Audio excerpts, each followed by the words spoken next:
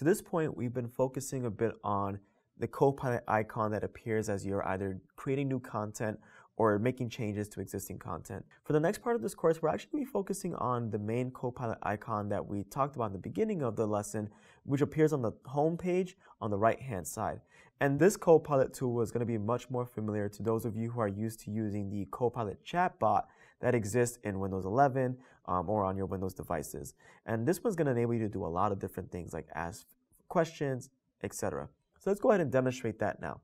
Let's jump right into it. So I'm back on my blog post here, and this is my first time writing a blog post. I'm not entirely familiar with the ins and outs of how to make a blog post engaging or relevant. And so what I'm going to do is I'm actually going to go ahead and ask Copilot for some tips and tricks. So how do we do that? I'm going to navigate over to my home tab on the right hand side. Go ahead and open up the Copilot chatbot here. And once this opens up here, you'll see that we can ask it anything about the document. It also will keep track of any of the other content that I may have asked it. So before I had asked it to summarize some aspects of the document. We'll talk about all of that a little bit later on in the video. Um, but I'm going to start a brand new topic here.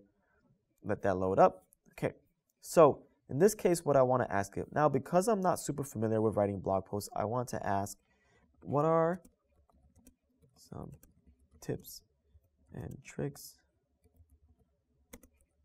regarding and I want to ask it how what are some tips and tricks we can use when it comes to writing engaging blog posts?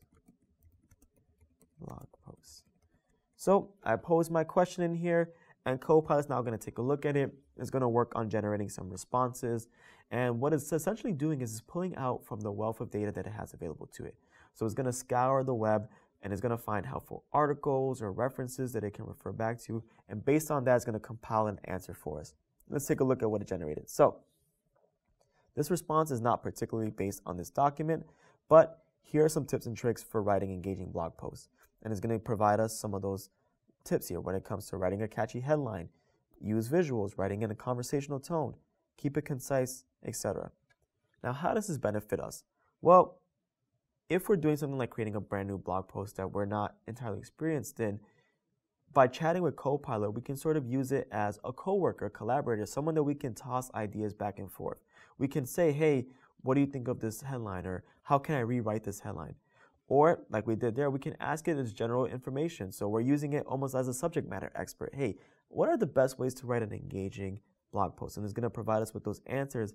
And what that is doing is allowing us to enhance our own learning based on the information. Where we may not necessarily have the time or the know-how to go search for this information on our own. By engaging with Copilot, we have access to all that data that we can now use, and now we can take that information we learned into the created document that we're building out. So that was just one brief example. There's a ton of different questions that we can ask Copilot. And as you can see here, even when you ask one prompt or one question, it'll also provide you with some additional questions you can ask it. So say that you like that point on catchy headlines, but you're not entirely sure how to write one we can go ahead and ask it that. Or this question I actually like a lot. All right, so we understand how to write a catchy blog post, but how do we make it visually appealing? Let's go ahead and put that question in there to Copilot, and let's see what type of response it gives us. So again, it's looking things over.